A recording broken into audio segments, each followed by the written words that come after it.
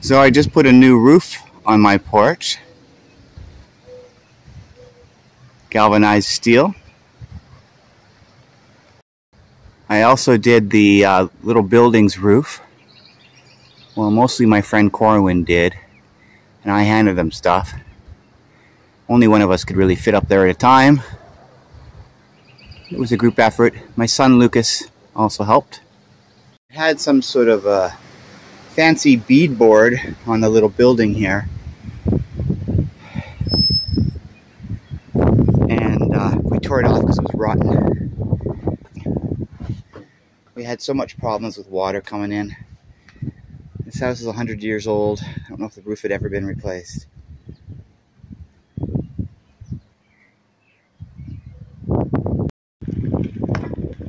There's my sweetie home.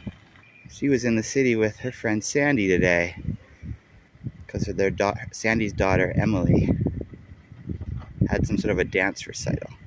How did it go? So you can see it's pretty square against the house and along the front of the porch.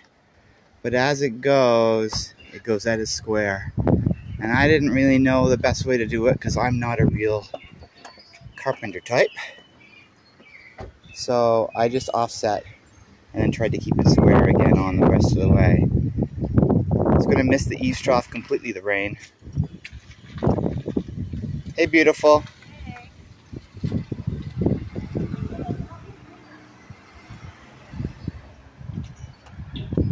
So now I'm sitting in my backyard and tired.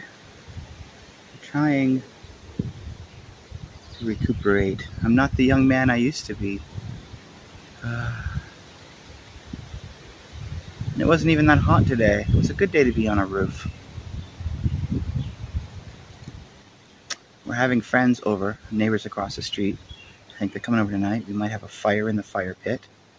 Plan is to play games.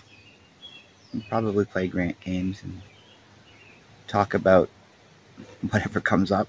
Her family is from the Ukraine. Her mom and dad are in the Ukraine, all of her relatives they're in West Ukraine, so they're not really dealing with, her family isn't really dealing with the worst of the war and stuff yet. So, I guess I may go get a pipe.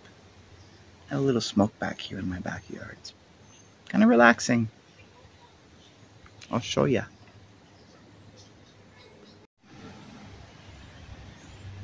You can see my hens in their little enclosure. Our fire pit waiting for a fire. Some bicycles.